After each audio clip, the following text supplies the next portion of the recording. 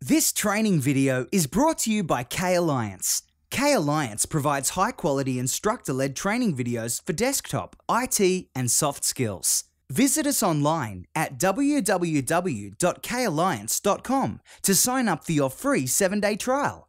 Be sure to like us on Facebook, follow us on Twitter, and subscribe to our YouTube channel. Thank you for watching, and we hope you learned something new. Real videos, real learning, real success.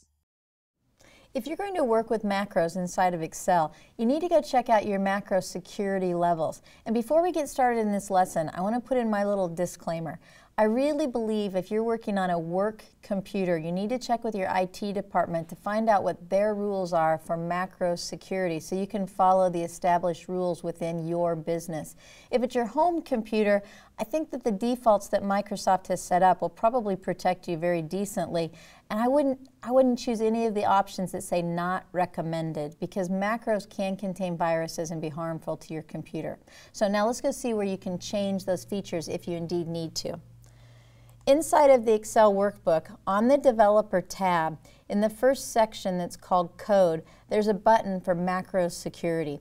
And what you can do here is you can click on that macro security and you can go in and customize all of the security levels that you might need.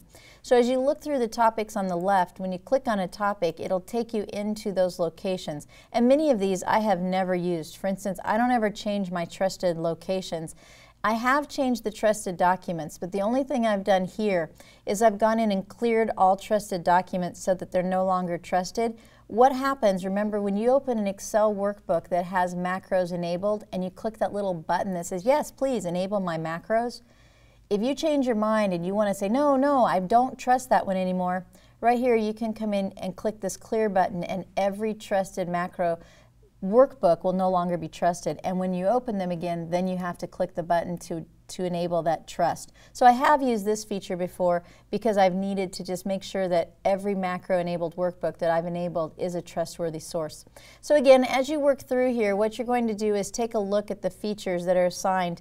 And again, I totally recommend that anything that says not recommended, don't choose it. Don't make that the option unless you're working with someone who knows exactly what they're talking about. So the defaults tend to work really nicely in here and the defaults tend to keep you protected at a great level. But again, if you do need to change anything, come into these different topics, click on the topic, and then you can go choose the option that you would like for the changing.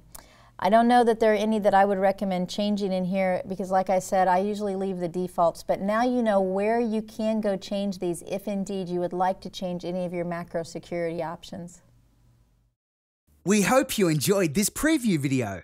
Please click on the like button below if you did and subscribe to our YouTube channel. Be sure to visit us at www.kalliance.com to sign up for your free 7-day trial today. You could learn a lot in a week.